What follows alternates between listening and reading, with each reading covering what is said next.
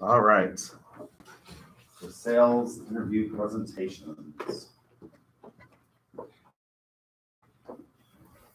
Let's start on the middle row at the back.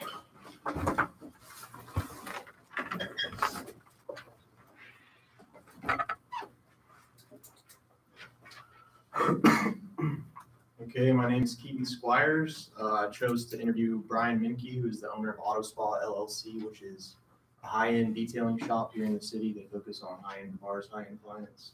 Typically don't touch a car for less than a couple hundred dollars. Um, I learned three things. Number one thing I learned is it's not only in what you know, but it's in who you know. Meet as many people as you can while you're anywhere and everywhere. Um, and you never know what they may do for you, so make sure you make a good impression always be presentable. You are the face of the company and ultimately what the customer buys. um, learn to read people and their expectations and give them what they want, not what you want. That will create a successful business in the long run, not the short term. In conclusion, being an honest, trustworthy business owner will create a good, loyal customer base and a good reputation. Okay. So why did you choose them? Uh, because he's been my mentor for the last couple of years in my detailing business, and I kind of wanted to get an inside of his business as well. Okay, so you have a car detailing business, Yeah, mobile. all right? And how much do you charge? Uh, it depends. I, I, like I said, I like to focus on the customer's expectations. I'll build a package for what the customer wants. Okay, so what's your average? Uh, one fifty to two hundred, to full detail, And what's his, what's his average? five hundred to seven hundred. Five hundred, wow, okay. Big difference there. Oh, yeah, for sure. A lot of variance. Oh, yeah. Okay, thanks. Very good. Good job.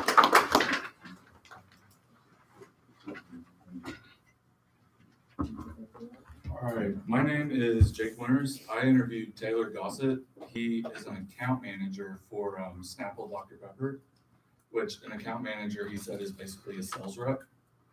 Um, the three things, oh, and him because he is the only salesperson that I actually could think of that I actually know. Um, one one thing that I learned about him and what he does is that he he's the type of person where he loves working Monday through Friday. And in a sales job, you can pretty much work Monday through Friday. Um, the second thing I learned is in his job, he doesn't do a lot of prospecting. Um, his accounts are pretty much given to him, but if like an OnCue opened up down the street, then he could go prospect that OnCue. Um, and the third thing I learned was that the most important thing that he said, and I didn't even bring it up, was to be um, just ethically sound. So you want your clients to trust that you know what you're doing and you want them to think that you are making the best decision for them, not necessarily just to get money. Um, and in conclusion, I learned that his job is very laid back and he really, really loves it. Does he actually, um, is it commission based? Mhm. Him that, so he does Yeah. get commission. He only makes, I think his salary is like nineteen or twenty thousand, Oh. but he makes probably sixty or seventy. With commission. Mm-hmm. So how does he, it seems to me that the demand for, so he sells for Snapple and Dr. Pepper Right. is sort of fixed. How do you get, how do you get customers to buy more? Um, so he has what he calls big box stores, which is like Walmart, Target, Crest, places like that. And if he has like a Snapple product going on sale, he can say, well, will you buy more of this product and a display to put in the middle of the aisle, Right. something like that. Or an end cap? Right, right. All right, interesting. Very good. Thanks.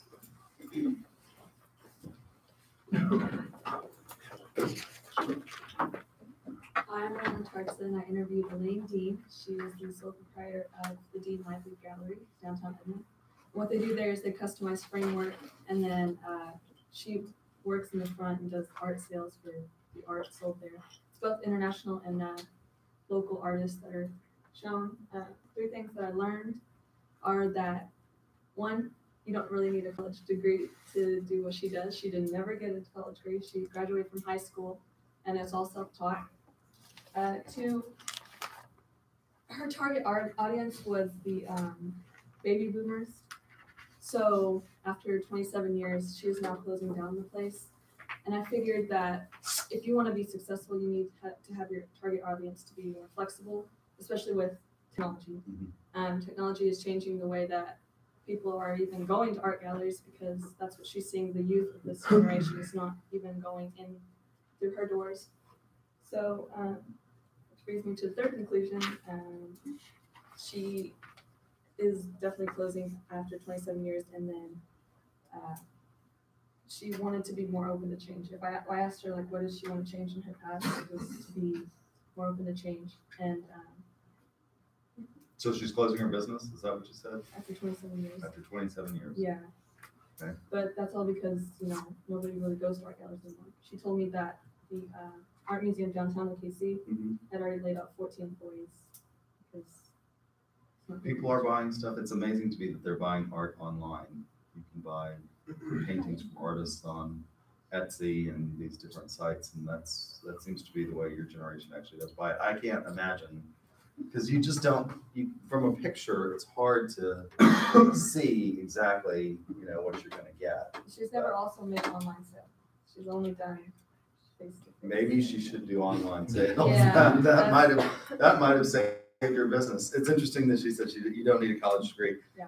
That's not true with people like Paycom. I mean, they're, Yeah. and in fact, one of the things that I learned from Paycom is that I used to tell students, I graduated in my undergraduate degree with a four point. I was the outstanding student in the college um, the year I graduated. And so I was also the class marshal for the college. Um, and I used to say, I mean, if you wanted to, the reason I did that was because I wanted to go to law school. And in, at that point in time, in order to get into law school, you had to take the LSAT, and you could only take it one time.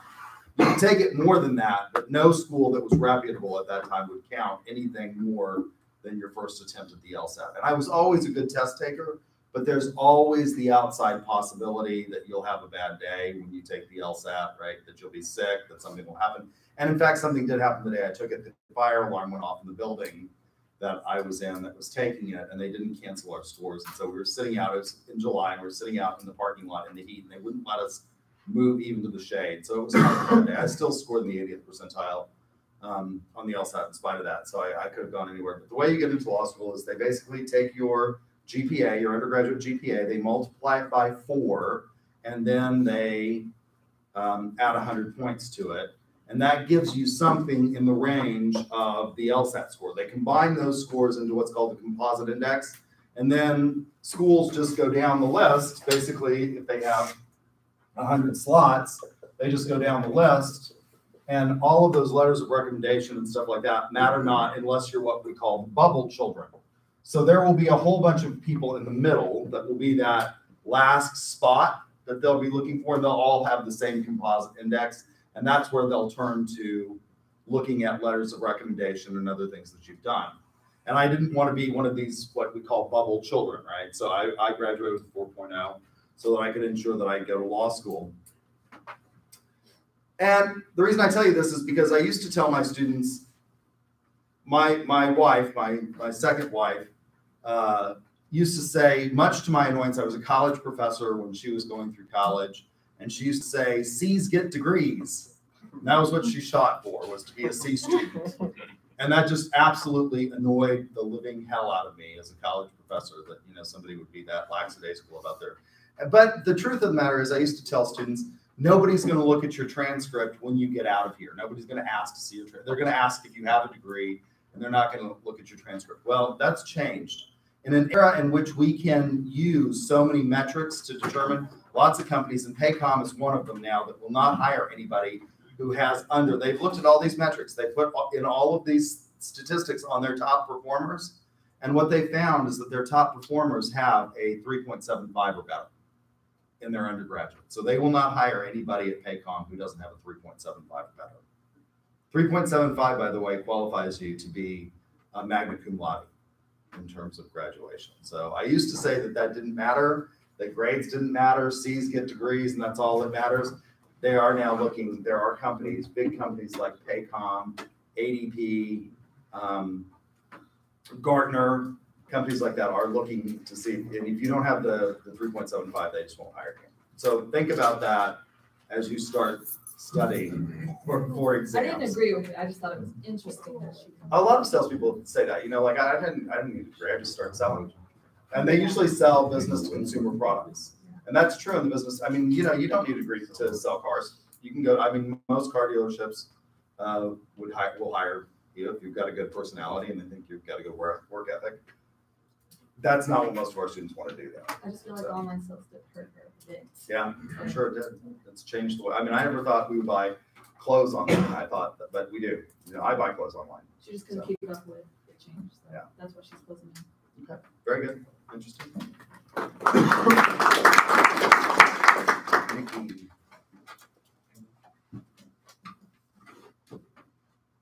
My name's Nikki. Uh, I interviewed Adam Williams. He works for Zales Diamond Store.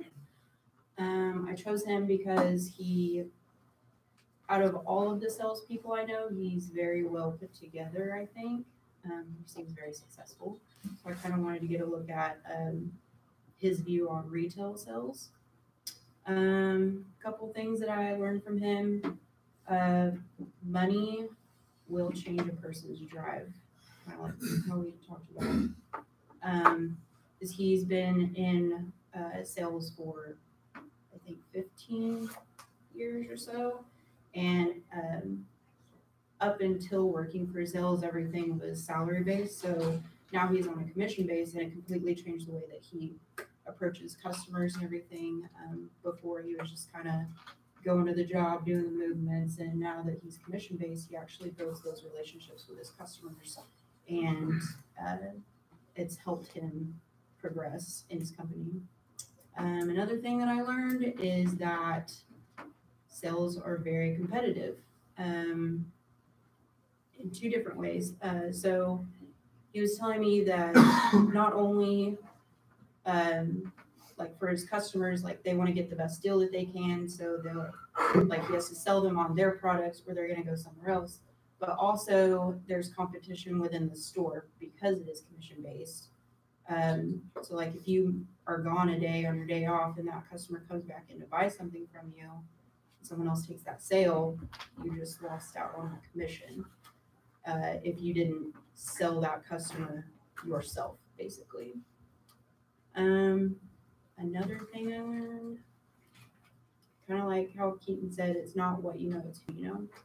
Um, you know, his customers, they they wear all this jewelry and everything, and then they go out and you know, somebody's like, Oh my god, I love that ring.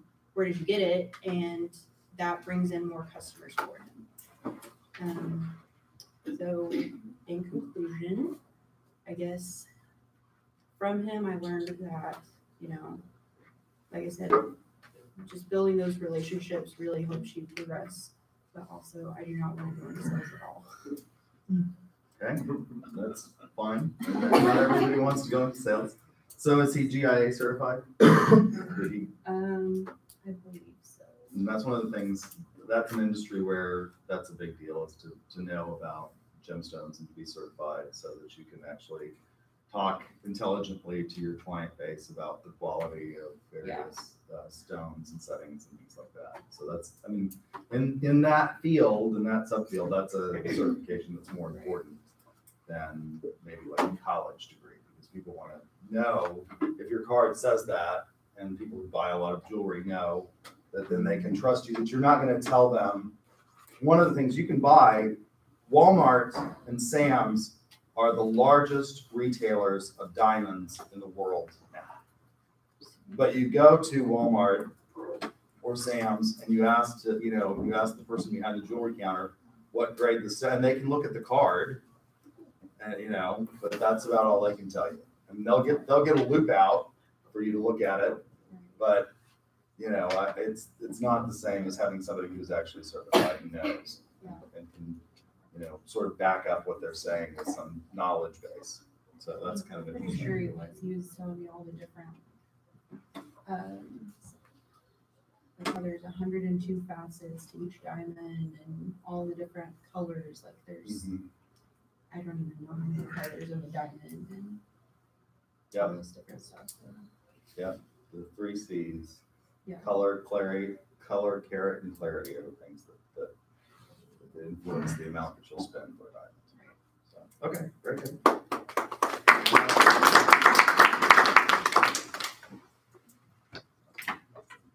What? I'm not ready yet, I just. Okay.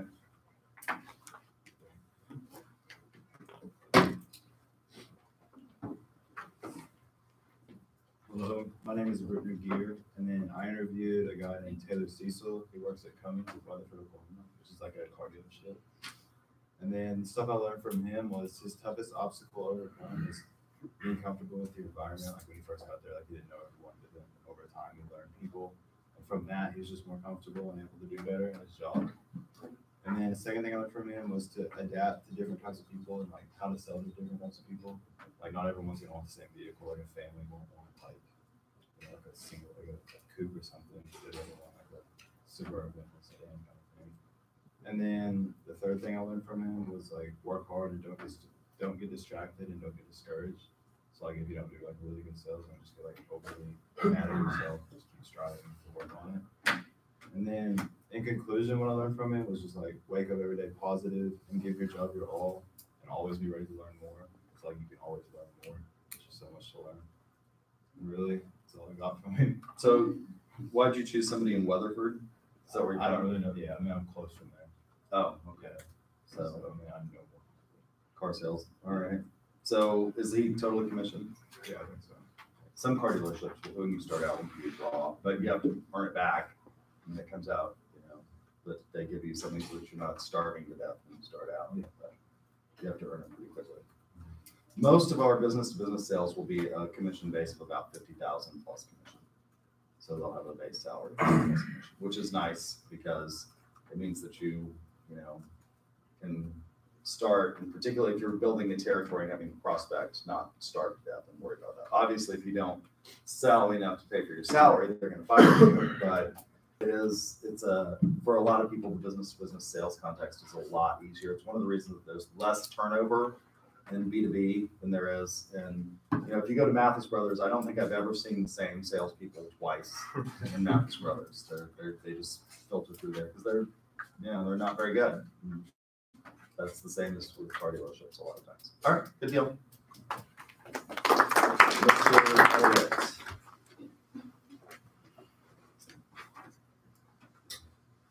My name is Austin Elliott. I interviewed Mason Brown, who sells insurance from a business called The Insurance Store. And the three most important things I learned from him were was that uh, insurance has the possibility to make a really high commission rate, and basically the whole business is run off of commission rate. Besides few people that they pay hourly, just to be like assistants or whatever. But the majority of the business runs off of commission. And uh, next, uh, just learning like about more like how insurance works. They don't like work for like State Farm or like Progressive, like particularly like they just sell like different packages from different companies, so they don't they're not like tied just to like one.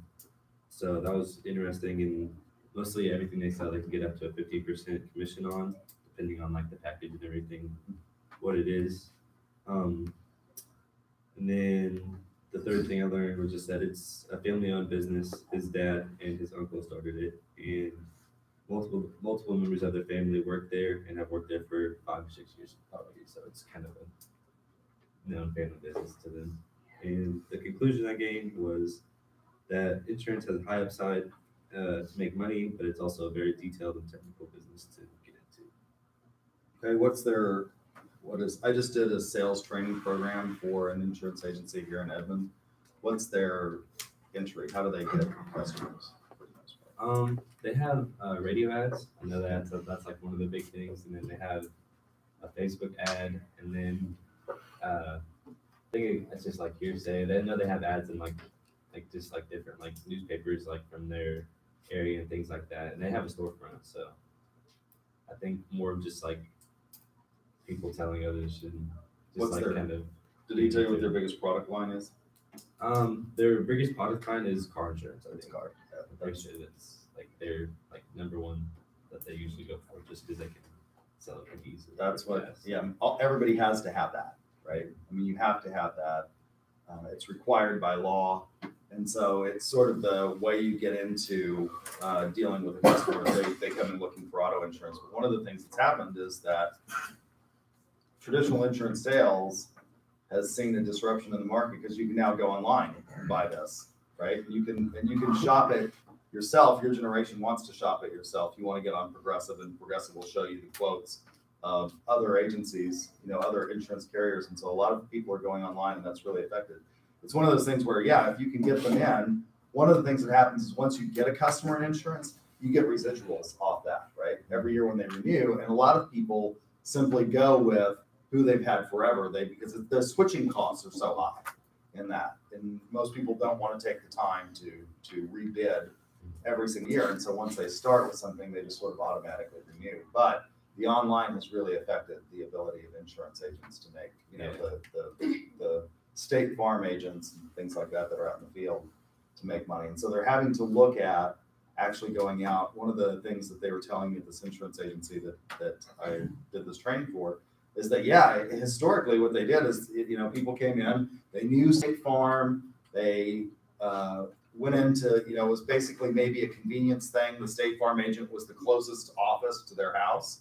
That's no longer true because you get online. So they're actually having to go out and look for business to business insurance because that's a more profitable and b people are more educated in that market. Whereas for most of you, particularly college students, what's your primary concern when you buy insurance? Cost. Yeah, all you care about is how cheap it is. That's pretty much like when when every dollar counts. And I remember this when I was a college student. It wasn't that long ago. I know that you think that I'm like Venus born of the foam and never sat where you sat, but that's that's certainly not true. When I was in college, the only thing I cared, I mean, I didn't, you know, I, I, I didn't care about all of the other stuff. And um, I just cared about how cheap it was. Like I just want, I want basic coverage. Um, and that was, that worked until you started buying a bigger vehicle and then you worry about things like, you know, if I get in an accident, are they, are they gonna depreciate the value of this car to the point that I can't buy another one? So, all right, good deal.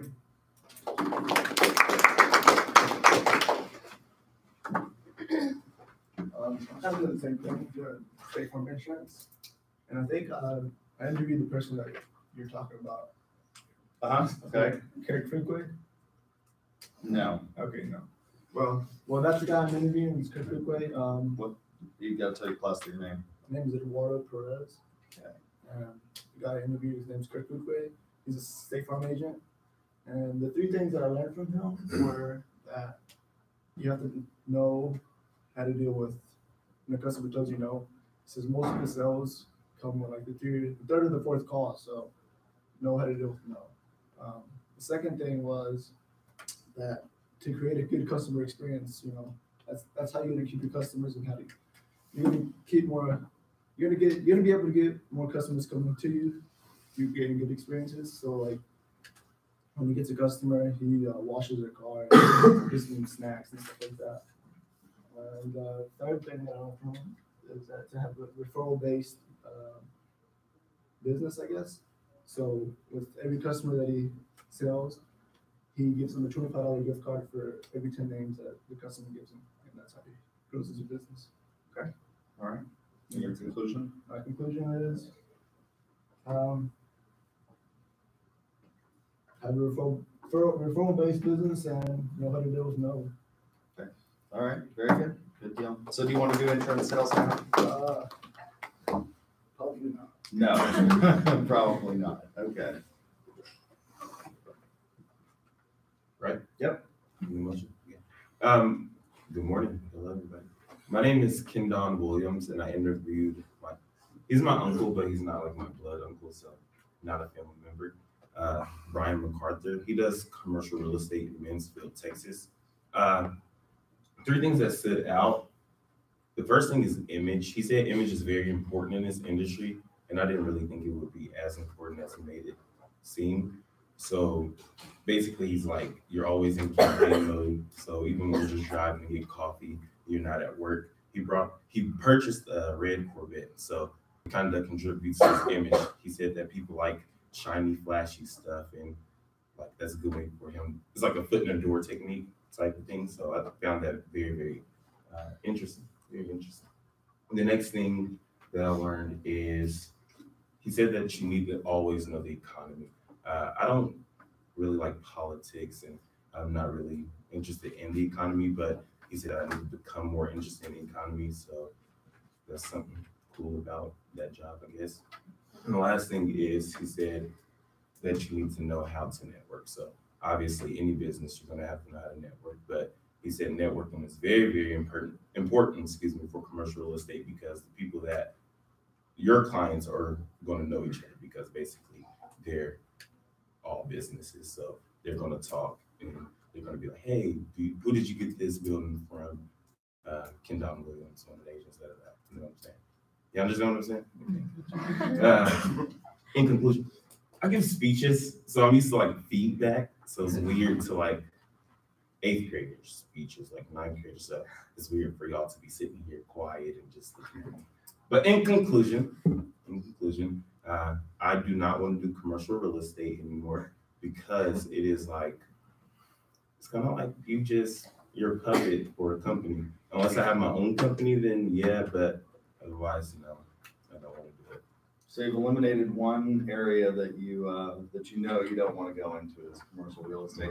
I think it's interesting that you said that, um, I agree that image is important. Mhm. And one of the things that is important in that, particularly in the real estate market, is being able to say, I'm a top producer. People want, particularly if they're gonna list property with you, they wanna know that you're gonna do it. So is most of his, so I have a couple questions. Is most of it actually sales or is it leasing? Does he do commercial leasing? Sales. Yes, it is sales. sales, but he does have his uh, independent like homes separate from the business he works with, where he does leasing. Okay. So, Because most businesses want to lease, and there's a reason that they want to lease, mhm. which is if you actually buy property and you have capital improvements on the property, you have to depreciate that property out over a certain period of time. It's not a one hundred percent tax write-off. Whereas if you lease buildings, most commercial property want to lease because it's a hundred percent. There's a tax advantage to writing it off, Mhm. the hundred percent. So I think- that's interesting. I think one of his uh, largest sales are is farmland. I think it's farmland. So Um, lots of farmers lease too.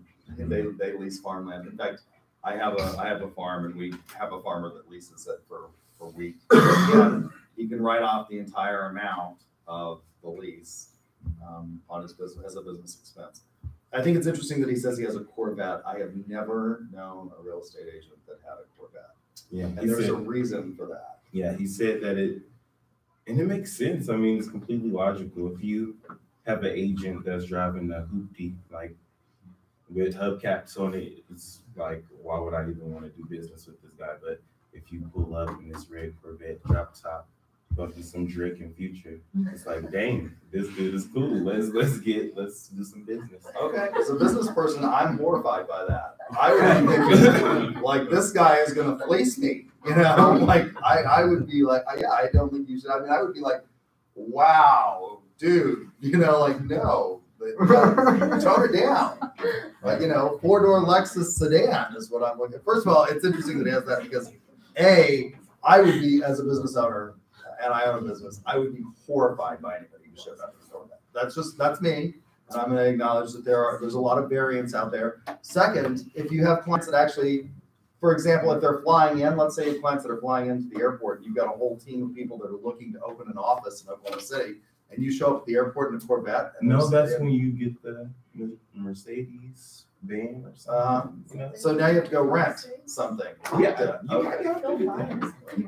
All all right, I, I, I just, I think that's, that's interesting. Um, I do agree with him that you should know the economy because there are, I mean, there are obviously limitations in every business. There are products, by the way, that do really well in economic hard times. What kinds of products do you think, where, what kinds of sales could you go into? that You're gonna make a lot of money during economic bad times.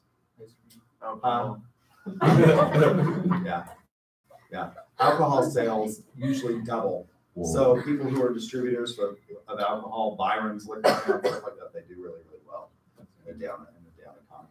All right. I do agree with them, networking is really critical. And particularly in the business, business, commercial, real estate market, that's gonna be a big deal. And I think that's one of the things that kind of deterred me too, because when he was speaking on networking, he was like, he feels fake a lot. Like, no real conversations, like too, too much business. So I, I couldn't do it. My shirt shrunk in the dryer this morning. so I'm trying not to lift up my shoulders too much. Okay. Random, random, uh, information. Very good. All right, let's start, we'll start the back row over here.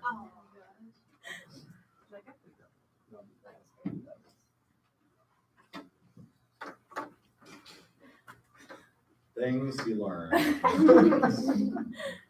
Okay, um, my name is Myra Lopez, and I interviewed Eric Loya. He has five years of sales experience working with Hilti, uh, which is a tool manufacturer, and also he's now with Cox Communications. Um, what I was gonna say. Okay, so what I learned was that aside from money being the motivation, he said is opportunities to serve. He really likes to help people and I guess that just gives him some satisfaction, just knowing that he helped someone, and especially if they come back. Uh, another thing I asked was, uh, what was a pro of it? And he said, getting paid for the results that you create, which I thought was a really cool thing to say because he's a very creative person and he uh, really enjoys just creating anything in general, whether that's music, uh, working with people, school, anything like that. Um, and the final thing is again networking. Like you said, networking is really important. Um, not only does that help you with sales, but that helps you uh, social, socially, and everywhere else. Um, in conclusion, uh, learn to deal with reject- rejection and make sure to give customers a positive experience because it makes your job a whole lot. So he switched, that's a big switch from Hilti tool sales to Cox Communication. What's he selling? Cox is a business to business?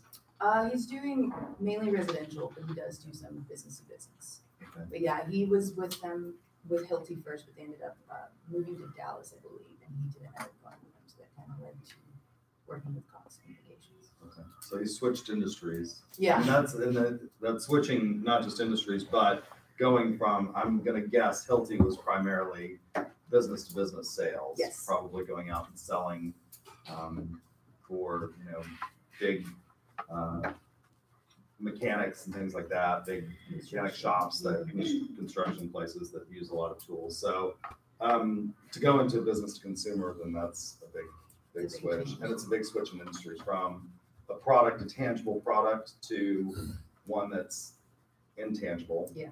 And everybody hates. Right. I mean, like, I, I, does anybody love their cable provider for the most part? I mean, it's just one of those things that I think most people really dislike. So that's kind of interesting. Okay, very good. Good job.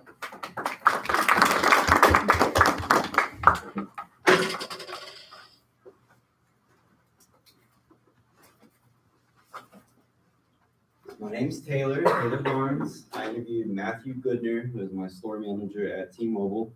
Um, I'm really interested in retail sales, specifically in the wireless industry. Um, it's like a real deal job. Our store manager makes like seventy-five, eighty thousand dollars a year. So people kind of think a little bit less of retail, like as a way to make money. But in this specific retail industry, you can do really, really well. Um, so I learned quite a bit from Matt. And the three of the things that I really took away um, Matt always sells ethically. So especially in wireless, we have a lot of spiffs where manufacturers will say, if you sell this iPhone, we'll give you an extra 10 bucks, things like that. Um, Matt says it's important not to sell based on those, like to consider it a lucky bonus if you get one, but not change your tactics um, and stop right fitting your customers, making sure they get exactly what they need, um, just because it's going to make you an extra $5 here and there. Um, as salespeople, uh, we kind of tend to have a little bit of product bias based on what we think is the best. Um, and what we think is the best and what might actually be the best might not be the best thing for the customer. Um, his example of that was if a customer comes in and says, you know, I had an LG TV and it was a POS, like even if LG has the best TV out, like I'm not going to try to sell that person an LG TV because they had a really bad experience with it in the past. Um, the last thing was that he always took the extra mile for his customers. So he had a situation in which uh, the lady's phone got shipped off with stuff she needed on it. He somehow got it back, really went the extra mile for her. Uh, because he did that, she was really pleased with his service. Uh, she had five daycares and ended up contracting Best Buy for uh, all of their security systems that they did put into those. So it was over a hundred thousand in sales just from being my store in person. So I think that's uh, something that's really important, especially in the retail setting. Like you see a lot of people and a lot of them are upset, but if you can turn that experience into a positive one, it can help your paycheck too. Um, so in conclusion, uh, my two takeaways from this really were that it, we really are in an era of relationship marketing. Like all of our teachers are right. This is real. Um, you have to get to know your customer on a personal level. You have to take care of them. Um, the second thing, and we kind of talked about this with a couple other people, uh, Matt doesn't have a degree. Uh, he did all this without a college degree. So if we're here getting degrees, like what can we do with ours? It's kind of exciting. So that's it. Okay, very good. Um, does he work for an authorized retailer? Is No, that no, corporate. Yeah. Corporate, okay, so, yeah, spiffs are one of those things that are really interesting. A lot, particularly in consumer packaged goods, they're offered a lot to salespeople. And it's one of the things that you see that they will really push whatever they're getting a spiff on. For Yeah. example, the competition we just went to, the um, Great North Woods, the biggest sponsor of that is Hormel. So every year, it's kind of an interesting competition to go to because all of the others focus on selling intangibles, they're selling services. So like the International Collegiate Sales Competition is going to sell Citrix this year. Um, the National Collegiate Sales Competition, which is held in Kennesaw State um, in Georgia, will sell. They're selling Gartner this year, which is a completely intangible product. It's a complete service, which is knowledge. I mean, they're, they're not even selling like a service that you would think of as being like the packages that we buy for our operating systems on this. They're selling knowledge about that and how to get the best deal and what kinds of packages you want. So for example, UCO might contract with Gartner to do an analysis of the learning management systems that are available out there and what our students actually need. And so it's a really difficult product to sell. But our kids at uh, Great North Woods, they sell Hormel, so it's packaged meat. And they, since Hormel is the sponsor of it, they have all of these for like breakfast, lunch, and dinner. It's packed. I mean, I, got so sick of little smoky sausages and stuff like that at every single thing that they did. But they offer Hormel offers a lot of spiffs, and so you'll see them going in and really trying because those salespeople try to push those items that they're going to get. You know, a hundred dollars a case or something like that on that spiff. So okay, interesting. Very good.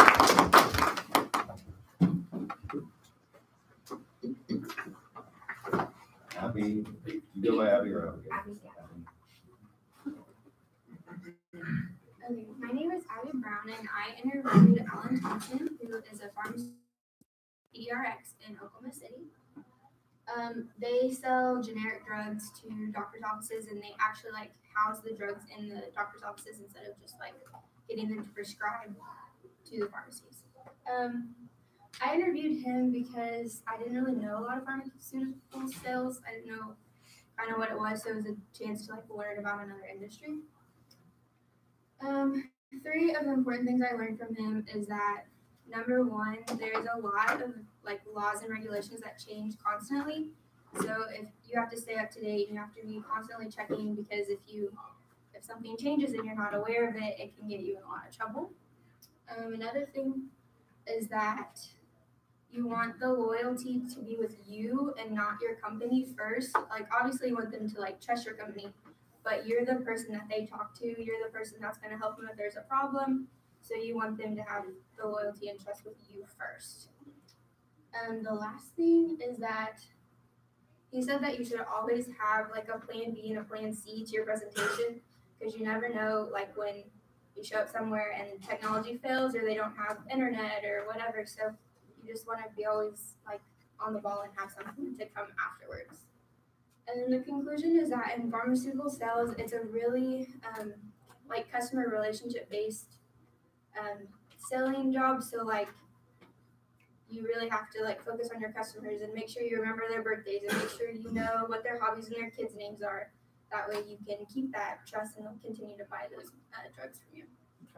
So he actually does sell product. He's not Yeah. just a missionary salesperson. Yeah, he sells um, because he'll have like a few different products he's selling each week, or he'll go like to different doctor's offices and see what they want, and then he'll go back and find what drugs that he thinks will work for them, and then he'll go back. So is it like flu shots and stuff like that, He or? said it was mainly like antibiotics and um, like the higher dose of the like higher doses of like ibuprofen and like different things like that that you have to get. Okay. Like not over the counter, and then also a big thing right now is weight loss drugs. So they do a lot of that. Wow. That's interesting. So most, most pharmaceutical reps, if they're not selling, um, a device, they actually are missionary. They're trying to get doctors to prescribe their stuff. So does it do that as well? No, they strictly just do um, like selling the actual like small amounts of the medications to the doctor so they can have them in house. Okay. And how big is this territory? Um, he does the whole Edmond territory. So like he goes to all the different um, doctors and then even some of the pharmacies too around here just to kind of like kind of create a relationship with all of them. Okay. Very good. Interesting. Thanks. I like to teach um, pharmacy because it's one of the areas that a lot of our students actually have an interest in, but they don't actually take the time to go find a pharmacy rep or a pharmaceutical rep to do that. Because they're, they're not, most people don't have any, if you're not a doctor's office or important in a doctor's office, you don't have a lot of contact with them. All right. Ms. Lopez.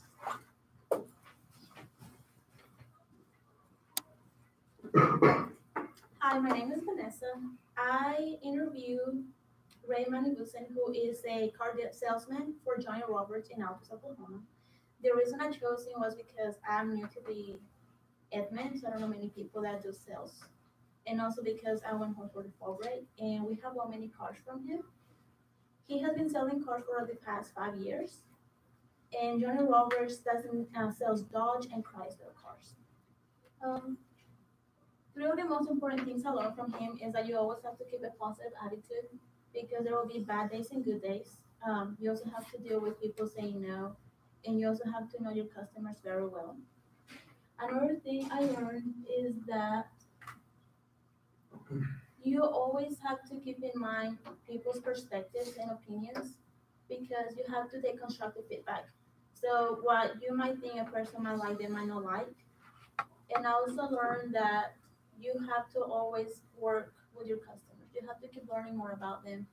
Um, you also have to be good, really good with networking, and you have to get really fit. You have to be able to get feedback from everyone, and you have to keep working with your your own company. So you have to be working as a team. So like someone said earlier, like let's say you miss a day of work and you don't get that customer that was looking for you, then you lose the sale. But you also have to keep in mind that you might be able to get another customer to come then. How many, how much, one of the things that I think is interesting is the car dealerships are actually trying, and Sewell is an example of this, where they, people go back to Sewell. They're pretty loyal to going and buying from Sewell Cadillac. How much of theirs is repeat? How of it? He said about twenty percent.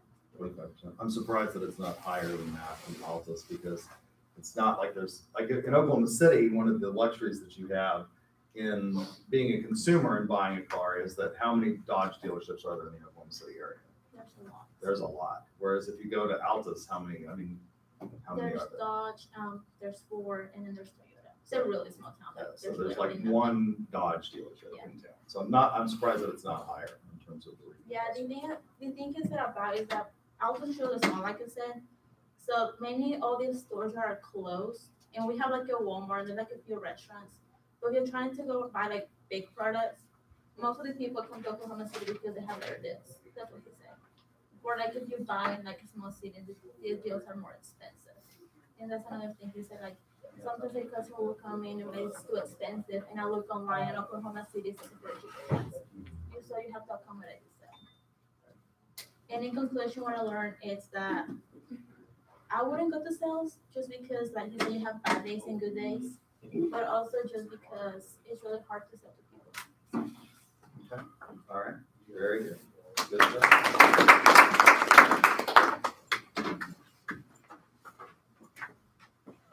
How's it going, class? I'm Jalen Ramirez, and the person I interviewed was Jesus Escobar. He works at Bob Howard Automotives, and pretty much what I learned from him, like the three most important things, you have to build customer relationship. If you don't have customer relationship, you're not gonna have, you're not gonna make commission, you're not gonna make any money. But pretty much how to build that customer relationship is just getting to know them, pretty much your basic things, like just little things about them, like their family, like. Cause if you can take that and determine what kind of, what kind of car they need, but for, know what kind of car they need, you kind of know what they need to stay up on their product. The, the way he stays up on his product is by um, just doing research. Even when they come in, they're bringing the vehicles in, he just, for a couple days, he'll go out there and he'll just mess with them and just learn the accessories and everything. So he takes all that, and then you can build a book, of business, which I think is the second most important thing. Because if you don't build a book of business, you got no money. And then for the he does that by doing um, said good customer relationship, and he takes those, and he gets referrals, and they refer other people, and that's how he makes his uh, pretty much how he sells his cars because it's basically his referrals. And he does referral fees as well. I can't remember how much. I want to say about five hundred dollars is what his referral fee was, but um, that helps him as well. And then some advantages and disadvantages I thought were kind of important. That his uh, disadvantages actually outweigh the advantages. But to me, if you take those disadvantages and work on them, you can make them to positive things and be able to help your local business. But in conclusion, I mean, if I had to sell cars, I guess I would. I mean, it doesn't seem too difficult because I mean, I know about them, but taking what he learned, taught, told me, and I can think I could apply it and be helpful. Okay. So how long has he been with this current dealership? I want to say for three years. Before, I think he worked at like, I think Mathis Brothers, and he said he hated it. But yeah, Okay. All right. So he's been there for three years. How often do people buy a car? I want to say like depends. Um, I want to say like last month he said he had like I want to say five cars sold, but they said it varies really. Some days he goes. Well, I mean, how often do people buy? So when you talk about building a book of business, one of the things that it strikes me in, in dealing and knowing, because I, I grew up with John Vance's son, who was my best friend, and his younger son was my brother's best friend. Like, car salesmen seem to bounce around a lot. And so it's hard to get people to, to be a repeat customer. Mm-hmm.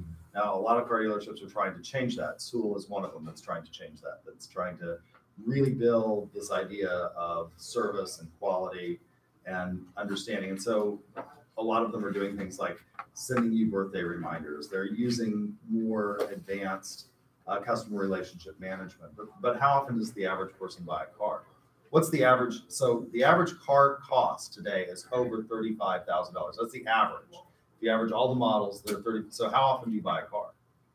How often do you most of the time? Three years. Yeah. How? What's the average age of the car on the road today? It's ten years. Because this is obviously an expensive product, and so you're looking at not selling something to somebody. You know. Well, they sell a lot of used cars, so it's not, you know, these are, these are like used. So, so I feel like you're not having to uh, worry about those high prices. I mean, don't worry. I mean, some are high still for being a used car, but it- to me, they're more flexible than buying a brand new car. Okay. All right. Very good.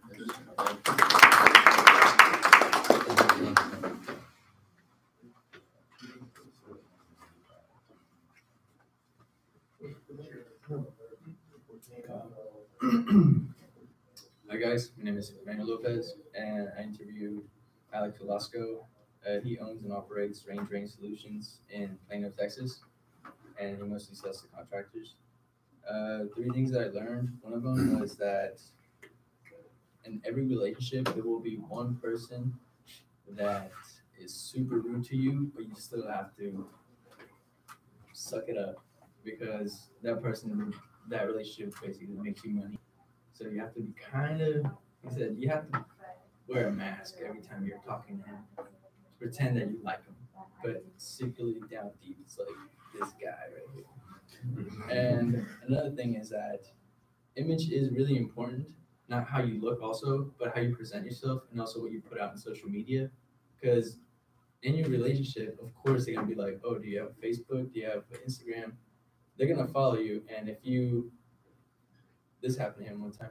If you post something like drinking out in the bar with your friends and acting really dumb, you're gonna lose customers, and it's it's something that's really critical. You have to take care of your image, and not just like physically, but through your social media. And another thing, uh, your phone will be your best friend, no matter what, because let's say if you forget your phone or you don't charge your phone, you're not gonna pay, be picking up with those uh, customers you have or like people that you're you're basically in a relationship with, and you're gonna lose a lot of money if you do not have if you don't answer your phone or if you don't have your phone around you. Um, in conclusion, the way he does sales is pretty interesting because there's a big demand in Texas for the service and product he has. So I kind of would like to join his team of salespeople and work for him. Okay. All right, so he said you have to wear a mask. Is that, I mean, that sounds sort of negative. Yeah. That you have to be one person I mean, when you're, he said either you learn to like him or you or you like just suck it up and just like do you think, do you think customers can tell when you're being fake? Sometimes. yeah yeah. Um, I mean, practice that. If you practice. Yeah, no, if you, If you're. You know, if you're like really annoying after all day. Okay. He, he explained to me what his customer is like, and he's some really rich guy, really arrogant, really like high end guy. He thinks himself as like Bill Gates' cousin, and he's like, yes, yeah, this and this and this, uh huh, blah blah blah. Okay, yeah, bye. Like just hangs up on him every time. It's like, so why does he not annoy somebody else? And he says that basically he likes me because I, I have the only guys that can do the job he requests. So he's, like, he's doing pretty well, but like, he's the only person in Plano, Texas that can do a certain, a certain type of job that nobody else can. All right, I mean, I, when you say wear a mask, I don't know, I, it's one of the things, Benjamin Franklin, a lot of people said that you never really knew him. He had a lot of different faces, he had a lot of different masks. Does that mean that Franklin is shallow? I don't know. If he did, they fit his face fairly well. Um, you didn't get down to the, the core of the person, but for Franklin, I think the essence of life was external um, to the self. It, it wasn't necessarily about uh, thinking, um, you know, deeply about your psyche the way Jean-Jacques Rousseau did. But um, I think you could also take that to an extreme where what you're dealing with, and, and there are people who are sociopathic, and they are they're good at wearing masks, and they are oftentimes very successful. Uh, they can be very charming. Again, going back to the double-barreled question that I asked, is there a difference between human relationship and human development? There is. Sociopaths are generally good at human relationships, at least initially. Now, it can lead to problems when people realize that they're doing what? That they're a sociopath, that, that- they're, you know, a compulsive liar. And so I would just say you have to be kind of careful about that. Um, but I agree that image is important. And I think that one of the things that has happened is that customers, and I like his discussion about how your phone is your best friend, because in this day and age, customers expect you to, you know, provide the stuff. I mean, we can get stuff. It's, it's amazing. Why is Amazon successful? It's convenient. They get it to you. You have next day. You know, if you're with Amazon Prime, you can get stuff next day and it's to your door. And people are now expecting that. And so it does mean that it is a challenge in terms of work-life balance, I think, in many instances. All right, very good.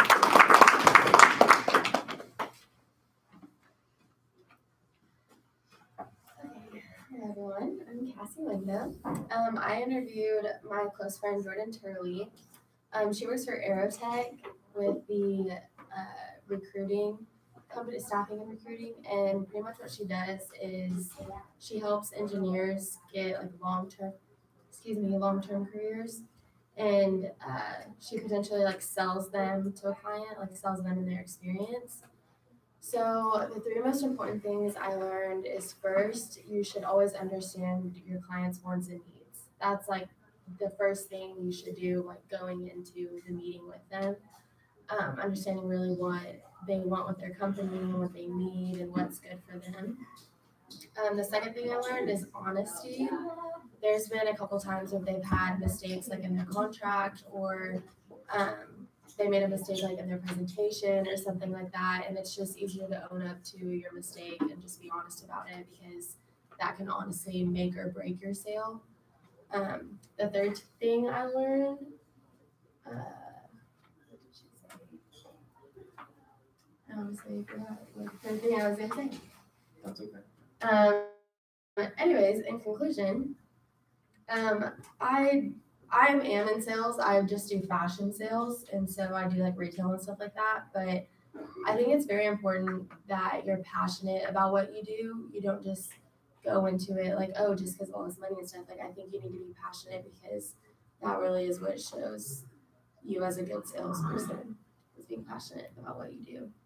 Okay, so, um, a couple things. I think it's interesting that you chose Aerotek. I'm glad that you chose business to business. And that is one that is a service. I mean, it's matching clients with the right, um, sort of skill set. And that is a really unique sort of business model. And so I think that's interesting that you chose that. And I'm glad that you chose Aerotek because they are an interesting company.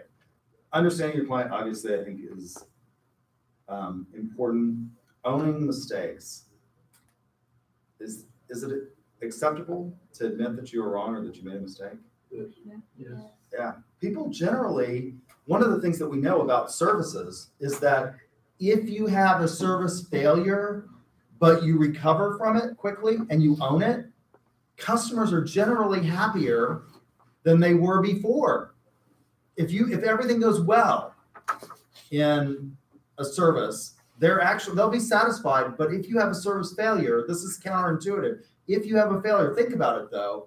If you have a services failure and you recover quickly from that and you make it right, customers are generally more happy. So think about your own experiences with the airlines.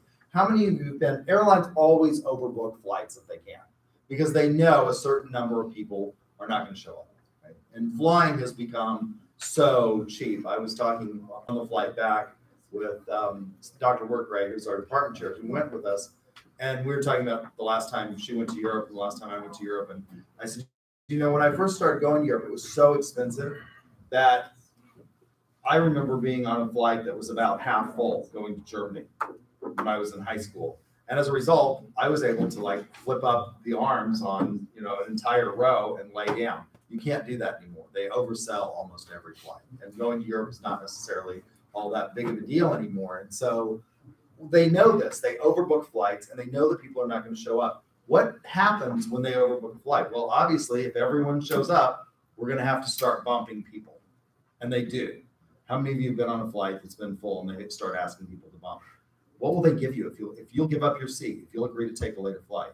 You vouchers. They give you vouchers for, and Southwest is the most generous about it. They will give you free flights for, I mean, it's it's huge. And people are actually happier with that if they have the flexibility to travel like I do most of the time because I'm a college professor and God knows I have all, all the time in the world, particularly in the summer.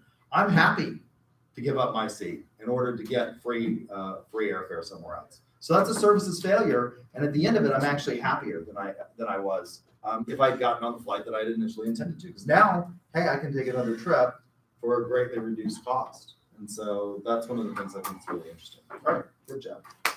Um, we're out of time, so here's what I'm going to do. We will have, since it's on the schedule, we will have the exam next class period, which will be Tuesday. It will not cover making the presentation, and then the following class period we'll finish with talking about your sales interviews, and then we'll do making the presentation. Again, if you're offended by that and you want making the presentation chapter, which is I think eleven, to be on that exam, you let me know and I'll make a special exam just for you. You won't like it, but. Yeah.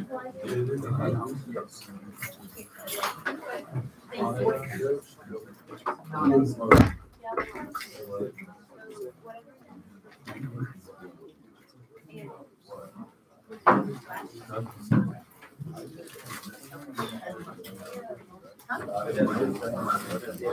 you didn't sign the roll sheet, be sure to sign it. And I will, if you gave yours extemporaneously and didn't use notes, I will give you some bonus points on the second exam, so be sure and look at that.